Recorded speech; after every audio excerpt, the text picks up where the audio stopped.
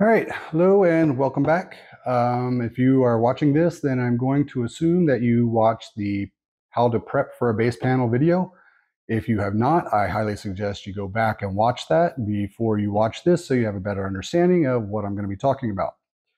So we are going to be talking about fiberglass today. I am going to actually fiberglass over the part that we uh, protected to do the base panel layup. So before we get started, I just want to talk about the fiberglass that I have in front of me and the fiberglass resin that we'll be using. So first up, what we're going to typically see right now in the industry is you're going to see a variation of this. This is your fiberglass cloth. This is stuff that, you know, you can pick this up at like AutoZone, you know, Home Depot, Lowe's. Um, this is literally cloth. I do not use this stuff. Um, to be perfectly honest with you, I hate it. The reason being, uh, I find it to be a little bit more difficult to work with personally. Uh, and the other reason that I do not like to use this is because cloth like this is great for strength in one direction. And when we're talking about making, you know, a part from scratch or a moldless composite, we want strength in every direction. So, you know, typically you see a lot of this in layups with molds and that will have a gel coat. If you don't know what a gel coat is, that is basically, for lack of better words, a very thick primer that is sprayed into a mold that the fiberglass then gets uh, resined into. I really do not like gel coats. Uh, there's a lot of companies that use gel coats. You know, they, they try and promote their parts as paint ready. Uh, in my experience, companies that use gel coats, and I'm not bashing, please don't take this as bashing, just my experience. When people use gel coats, it leads me to believe that there is maybe some shoddy work, uh, that their mold is not the greatest. Um, and there's going to be people that argue that tooth and nail. I have used, you know, gel coats in the past myself. I have gone away from them. Uh, it's just not something that I really like to use. But again, every manufacturer, every builder, every person has their own unique style of doing things. I am not talking trash. I am just speaking personally. So we're going to take this cloth and basically chuck it because I just wanted to show it to you. You're not going to be using it in this process. What you're going to be using in this process is what is referred to as chop strand mat. This is my bread and butter in fiberglass. And I have two pieces in front of you. This is what I use to start off with. This is ounce and a half chop strand mat. They call it chop strand mat because literally these strands are chopped up. I'm trying to pull some off here so you can see them. These strands are, you know, chopped up and they use a binder and basically lay it out in a sheet and bind it all together. The resin penetrates this, breaks down the binder, and actually solidifies the fiberglass. So when we're talking about, you know, ounce and a half, or in this case, this is a two ounce, we're talking about the thickness, and they use that, you know, how many ounces basically to build up, you know, the weight, etc. You can look all the technical stuff up, um, but really all you need to remember is ounce and a half and two ounce. These are probably the two that you would use the most in making a part like what I'm doing on Project Rising Sun. I like to use my ounce and a half as a base. And the reason I like it is because it absorbs quickly and it breaks down quickly. So when you're going to do multiple layups or like multiple layers, if you can put a base down like this that will break down quickly, hold your resin, you can then go to your thicker two ounce right on top and it will make, you know, wetting this stuff out a lot easier. It also will build up material thickness, strength, etc. So that's pretty much what we're going to be using is these two pieces here or, you know, these two weights. Um, but let's talk about our resin because this is really a big one for a lot of people. They do not know, they haven't done fiberglass before, and there's so many different, you know, resins out there, epoxies. It can kind of get overwhelming if you don't know terminology. So I buy my products from a company here locally in Phoenix called Sticky Stuff. I've been using them for years. I love them. They, you know, provide me with consistent product and I'm a creature of habit. When I find a product that works well for me, I do not stray because if it can produce the same thing time and time again and I'm comfortable with it, why change? So this is labeled as their GP resin, which is, you know, for lack of better words, their general purpose. But what you need to know is a polyester or called poly resin. And this is one of the most popular resins used in making composites. There's another one that you could potentially use, and I have used in the past, which is called a vinyl ester. And that is typically seen more in applications where you're talking about something that's going to see a lot of moisture, uh, boats, for example, um, something that you know needs UV protection. It's a bit of a different, you know, chemical composition. I'm not going to go into all the details. If you want to figure it out and look it up yourself, go for it. Um, but really, all you need is a good quality polyester resin. Now, what we have here is MEKP. This is our catalyst or hardener. Uh, when people refer to hardener, this is what they're talking about. The real terminology is catalyst. So if you're going to go to a fiberglass store and you're asking for something and you want to sound like you actually know what you're talking about, ask them for catalyst. Don't say hardener. They'll just laugh at you. I've had it happen, trust me. Um, so this is basically the stuff that we're going to be using to produce our base panels. I'm going to go over, I'm going to actually show you how I lay up, you know, fiberglass over the part that we put the tape on previously. I'm going to have to do a little bit of a voiceover because I have to wear a respirator. So I apologize in advance if the audio is not the same. You might have to adjust, you know, your audio levels, but I'm going to do my best, you know, when I do my editing to try and make sure I get it so it's close. So yeah, this is pretty much what we're going to be using. And so let's get into some fiberglass. This is my mixing table. I suggest you do this on a surface, you know, that you do not care about because resin is messy and it is kind of hard to clean up. So yeah, I would suggest doing it in a, a spot that you don't care about. The first thing that we're going to do is open our can and we're going to mix our resin. If your resin has been sitting for any period of time, I highly suggest mixing it before you actually pour we just want to make sure that it is thoroughly mixed. The one thing I want to say about mixing is you do not want to add unnecessary air bubbles, so stir gently. You do not want to make the resin slosh around in the can. You simply just want to stir it up.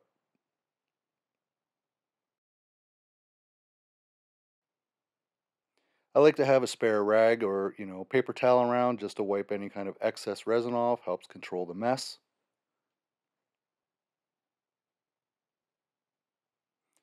And the next step is going to be pour our resin. Now, I know that I'm going to be pouring approximately four ounces. That's based on the amount of fiberglass that I'm going to be using. That's kind of a trial and error thing for you. You'll get used to it as you get more familiar with using fiberglass and fiberglass resin.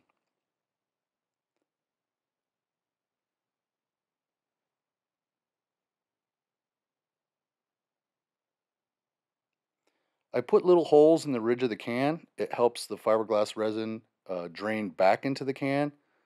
It's a little trick you can use, helps keep things clean.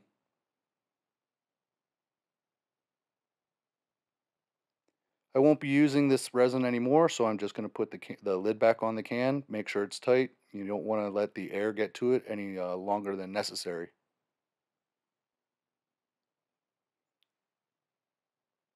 I have a little mixing chart. This is supplied by the manufacturer. I'll show it to you here. This gives you your temperature and mix ratios. So you want to see what temperature you are currently working in and that'll tell you how much of your catalyst you will need per ounce of resin.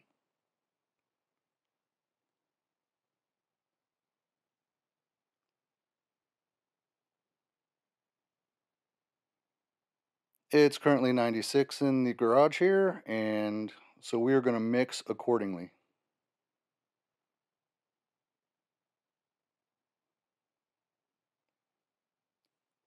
When you want to mix your catalyst, you do not want to shake the bottle. Again, you want to keep air bubbles to a minimum, so you just kind of want to stir it around like this. This is the best way I've found to do it. I'm also using catalyst that has a red dye. That makes mixing into the fiberglass a lot easier because you can visually see when it's thoroughly mixed.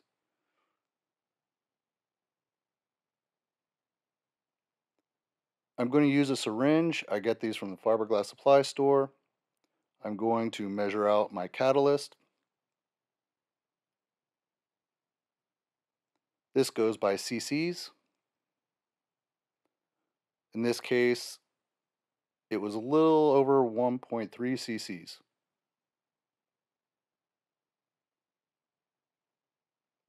I recommend putting the cap on your catalyst because I've seen a lot of people spill it. Make sure you don't spill it. Now I'm just going to dump my resin into my mixing cup. You want to use a wax lined paper cup like this, otherwise you run the chance of your fiberglass resin actually melting through the cup, which absolutely sucks. I've had it happen.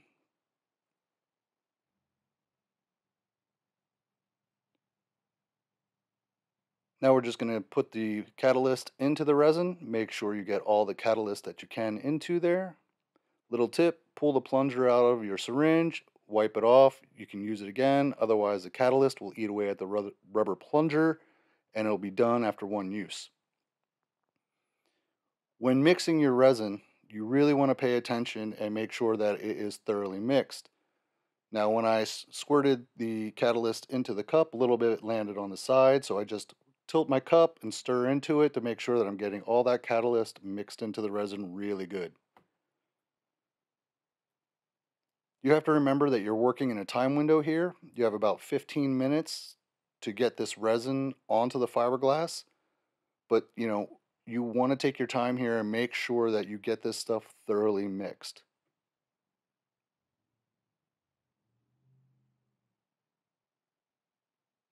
I was just checking to make sure it was thoroughly mixed and I'm happy with it. So I'm going to grab my 2 inch chip brush, wipe off the excess from my stick, my uh, paint stick here, set it aside, let it dry, you can reuse it again.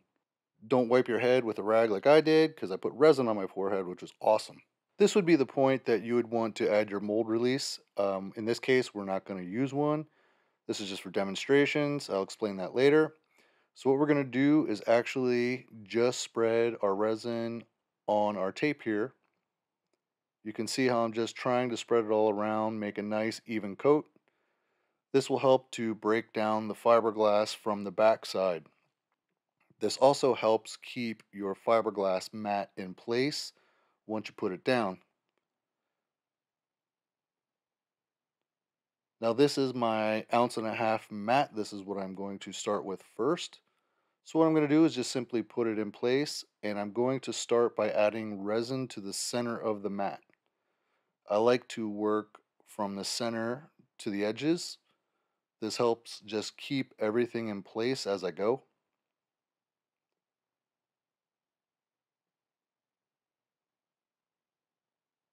You want to make sure that you know when you start you you really want to get this stuff down heavy. You can't really overdo it here um, it's going to take a little bit of time to break down so do not concentrate all your resin in one spot you know you have a limited time window so the idea here get the resin down as fast as you can get the fiberglass to break down get it to conform to the part.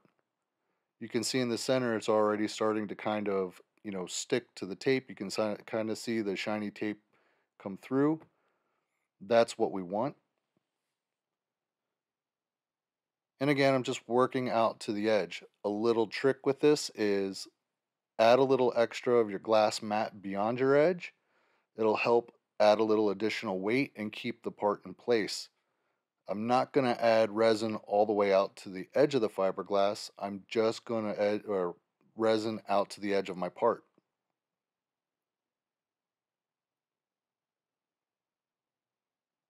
Now you can see there's kind of spots that have, looks like it might have a little bit of an air pocket in there. That's okay. The fiberglass is going to continue to lift until it fully breaks down. Do not spend a lot of time, you know, going over those air pockets.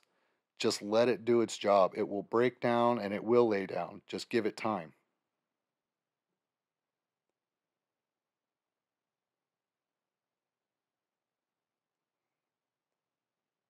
Here I am basically just finishing out the edge here. And you can see I'm really trying to put a lot of that resin on that edge. This will help keep your part in place.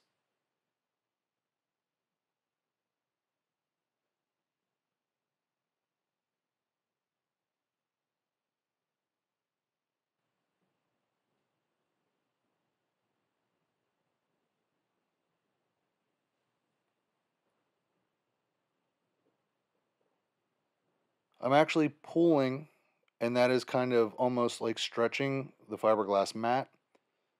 This will help kind of, you know, anything that's uneven, it'll help kind of pull it around and create a really nice surface.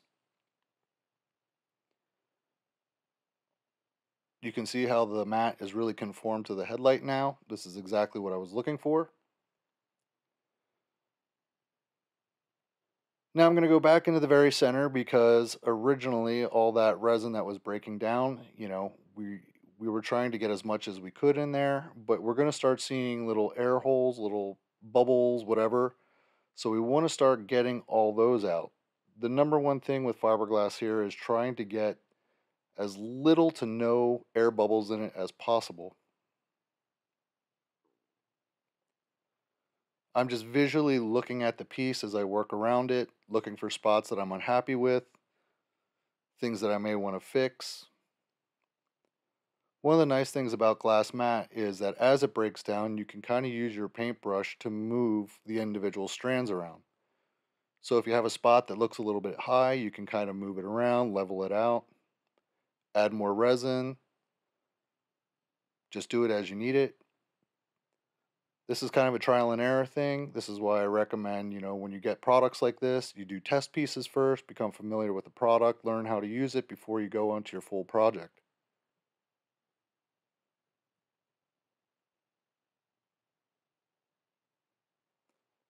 What I'm doing by putting the paintbrush up and down like that, I'm actually using the bristles to kind of pop air bubbles. And if I feel like it needs more resin, I just use more resin, add it to that spot. Good to go.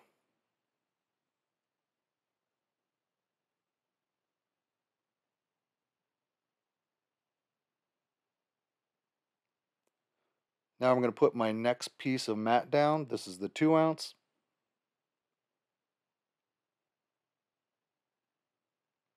You can see as soon as I put it down how it automatically starts to soak up the resin. This is why I like to use two layers like this. Again, I'm just starting from the center. I'm going to work my way out.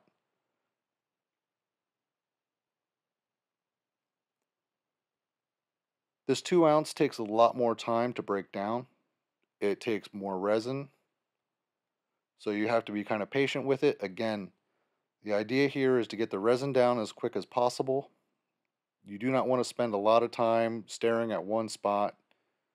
You want to get this resin down. You'll run into a situation where the resin will actually start to solidify in the cup and you won't be done and you'll kind of be screwed, but don't worry. You can just mix more resin, keep going.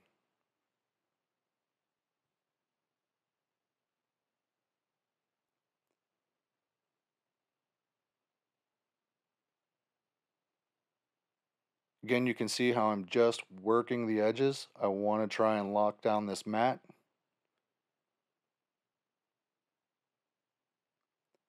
Again, if it lifts, do not worry.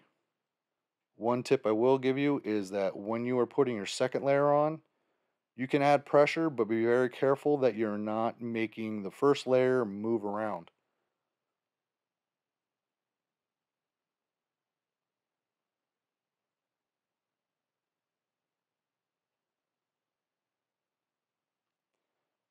As I'm adding my second layer and I can start to see through, again, I'm looking for any kind of air bubbles that might be in the first layer that I may have missed.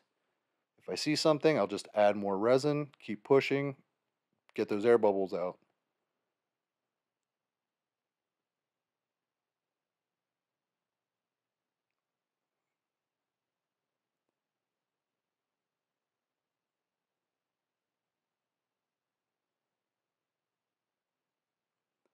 You can actually see how much stiffer this two ounce mat is in the way that it's laying.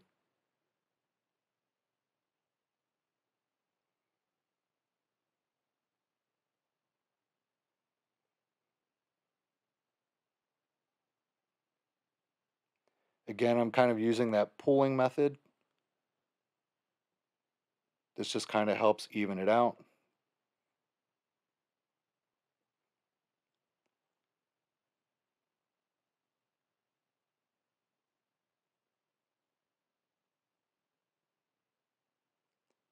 When I mix my resin, I usually account for, you know, having to add a little extra. So when I'm done, I usually end up with about an ounce of leftover. That's really not a big deal. I mean, you can always just throw it away. It's not going to hurt anything, you know. But the worst part is when you run out and you have to go mix more.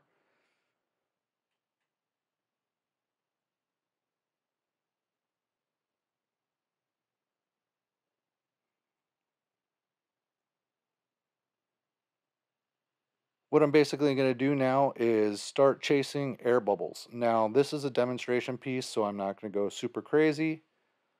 I know that there's going to be tiny little, you know, air holes, little, well, not really holes, but little air bubbles in between the two layers. Normally, I would use a roller at this point to start chasing out those little air bubbles. You want to just kind of push them out to the edge. It's the easiest way to get them out. But just for this demonstration, I'm just going to kind of show you how to do it with, a, with this chip brush.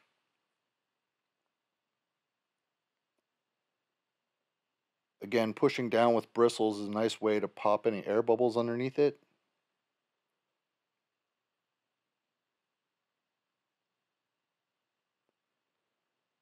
You only have about 15 minutes, as I said, but you really want to take your time and be thorough. The number one reason that I uh, talk to people that have issues with delaminating between their layers is they're not really worried about these air bubbles.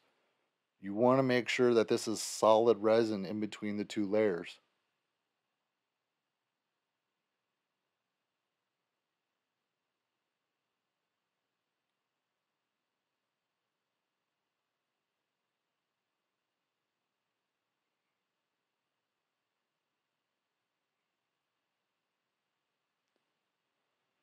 You will know when you're getting close to your resin uh, starting to solidify it's going to get thicker. It's going to get easier to fill air bubbles, but it's also, you know, you're at that point where you're kind of on borrowed time where it's going to start to solidify and it's not going to be usable anymore.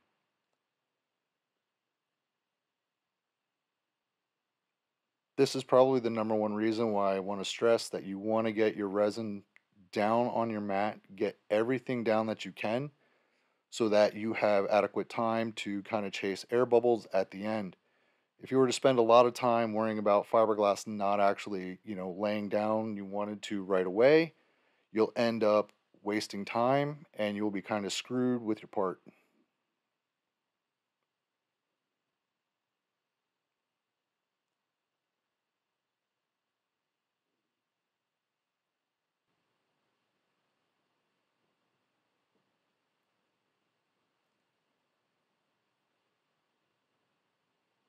Getting really close to the end here. It's getting harder and harder to get the resin out of the cup. So, you know, you really want to hustle at this point. You can see again, I'm using that paintbrush to pop air, air bubbles in there.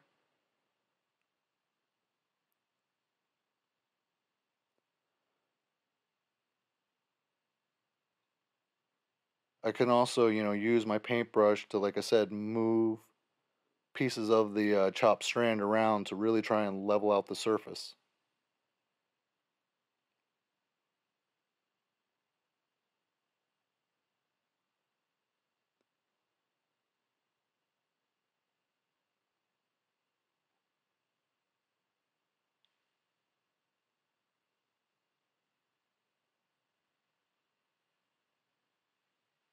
For me personally, I find where I start with my mat meaning like in the center, is usually where I am the lightest, only because I'm more concerned about getting the resin down over everything. So I try to concentrate on where I start first, you know, to make sure that when I'm close to being done with my project that I have those areas really wet out.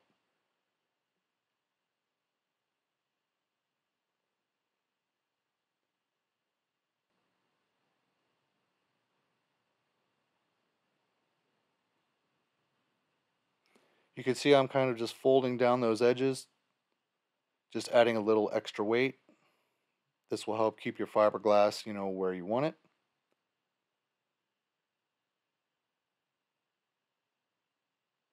And at that point, you can see how it's already starting to solidify. So this is pretty much the end of this cup.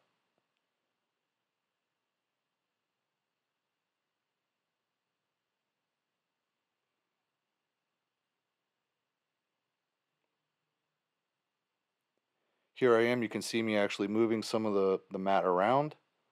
There's a spot that laid a little uneven, so I'm just kind of, you know, moving those strands around. Get them where I like them.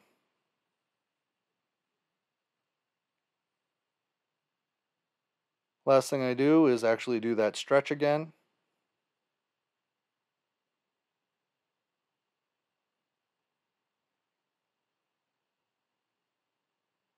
And at this point, this is pretty much done.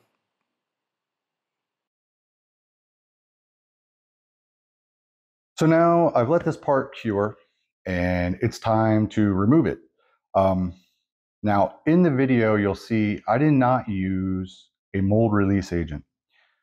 That's one of those things where it's kind of, you know, up to you how you want to do it. With this aluminum tape, you don't necessarily need it, but and this is a big but, if you use a mold release agent, it will make pulling this fiberglass off so much easier. I've used um, sprayable PVA, which you can get from a fiberglass uh, supply store. Great product. I've used pure carnauba wax, like straight up car wax. It works great. I've tried using PAM cooking spray. I mean, you name it. I probably tried it to see if I could get a release agent to make the fiberglass, you know, so much easier to remove from our part. Having said all that, there is a benefit for me personally, and this is again, I'm only speaking in the context of how I do things, and however you know someone else wants to do it, that is totally up to them. For me, when I lay things up without a mold release agent, I have found that I get a better part in the way of fitment. And really, because when the original layer of fiberglass resin that I put down on the aluminum tape before I put the fiberglass down, when that kind of cures, it really does kind of, you know, build a nice little, I don't know, it's not really an adhesion, um, but it allows the fiberglass to stay in place. I have used, like I said, a lot of different mold release agents, and some of them allow the fiberglass to actually kind of move on the part until it really starts to kick or solidify. So, again, that's just one of the things that I've found. Um, you may find things to be different, and by all means, experiment. I highly suggest if you're going to try do this stuff, take the time to get supplies, you know, do a bunch of tests. I mean, try and do things, you know, a bunch of different parts and see what works for you before you actually start your project. And once you start doing your, you know, the project that you want to produce as a, as a final product, if you get stuck along the way, and I've had it happen to me, it sucks because you know, you put all that time and energy into something only to be like, oh shit, what do I do now? So I am trying to do things the hardest way that I know how to show all of you the pitfalls and the advantages. Um, we're going to pop this off. And again, I'm, I'm going to try and do overhead camera so you can see. And um, so before we get into that, I want to talk about the tools that I used. So the first thing you have to do when you're trying to pop this off is you have to break the surface tension. And if you get a lot of resin that kind of runs over an edge, it's hard to pop these things off without a release agent. I have, you know, a little, it's just a basically shows material thickness for steel.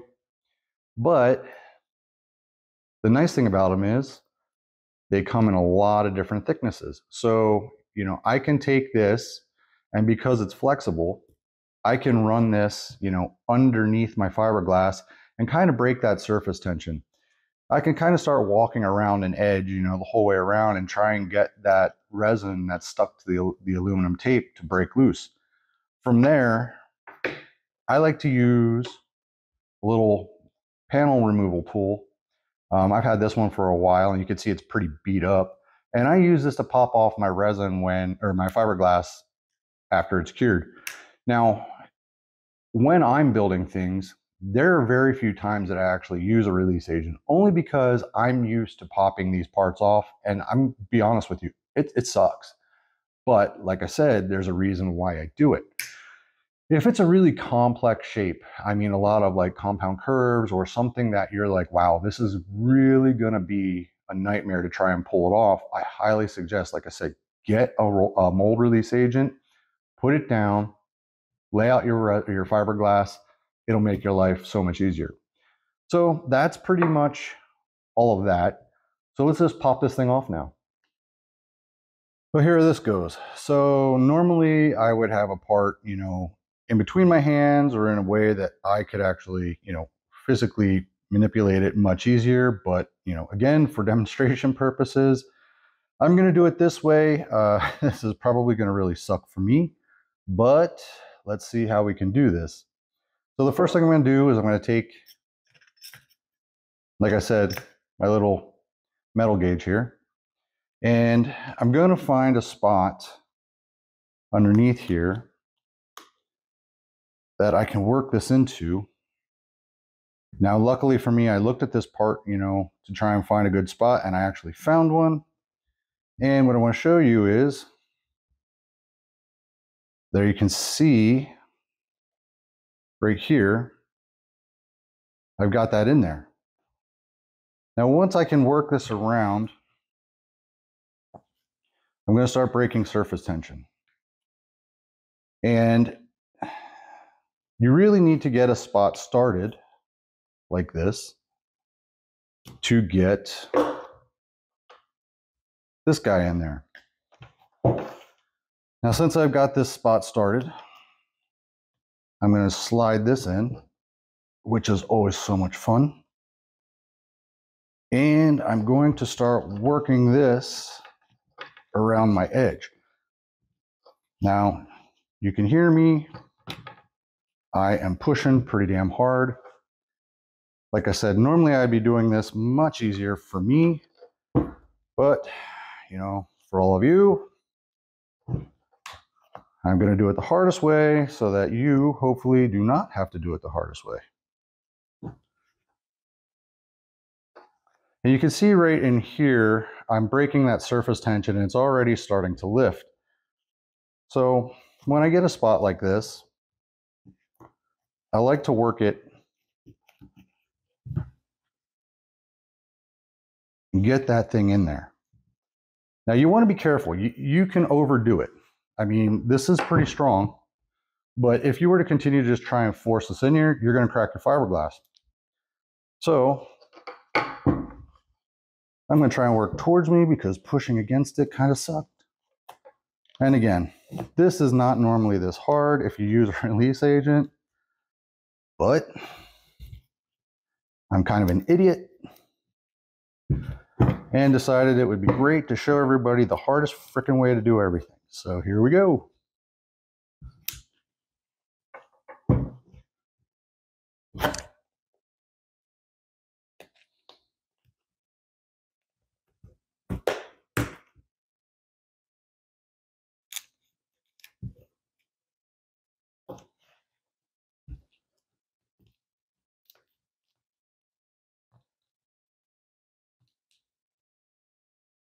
So what's actually happening here is my squeegee or my tool here is getting underneath the aluminum tape.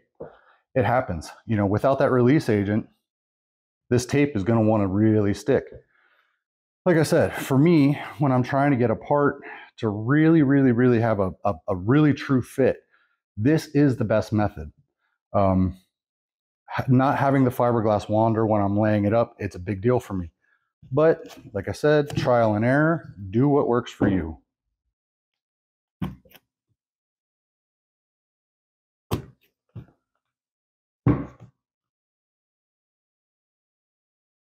Once you get a nice section kind of, you know, pulling away, it does get easier.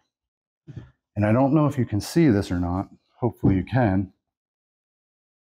Through the fiberglass, if you look through the fiberglass in here, as I walk this tool around,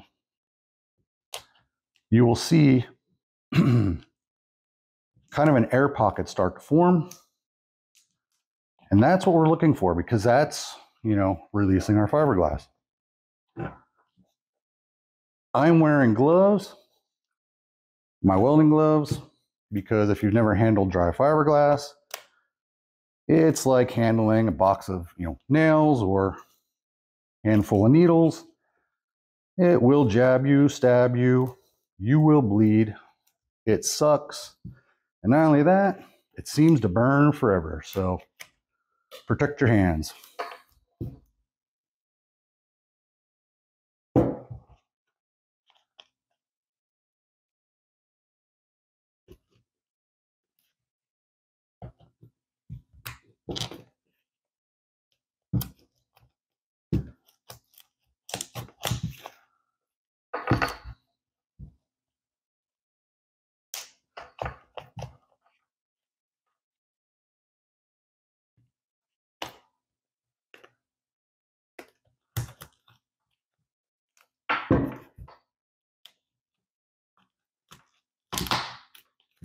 And you can hear it kind of crackling. That's not the fiberglass, that's actually the tape starting to release. That's a good thing. You will know the difference between that sound and your fiberglass cracking. And that's usually followed with a bunch of curse words and the occasional throwing something across the room.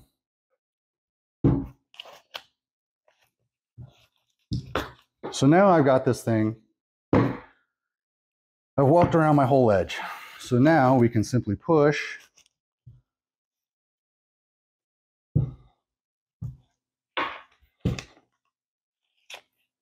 And I think this is about to go. There we go.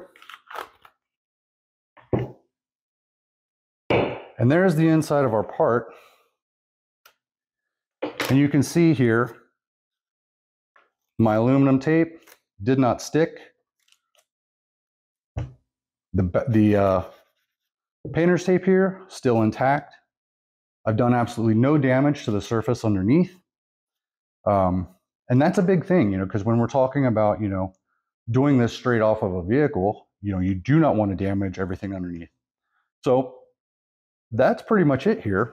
The one thing I do want to say is if you look on the inside here, and I'm hoping that the camera gets this, you can actually see my tape lines in here. There's this crisscross pattern. You can see it. But you can also see here how smooth this surface is. I mean, that's really good. This only really needs a light scuff and I can bomb this, you know, or I can go to paint or whatever I want to do with it.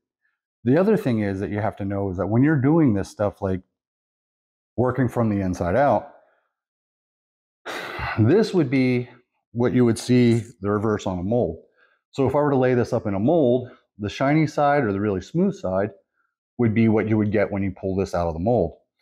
For us, we get the gnarly side. You know, this is all the fiberglass mat that has not had like a really nice straight surface to give us this really straight, you know, shiny surface. It's really smooth.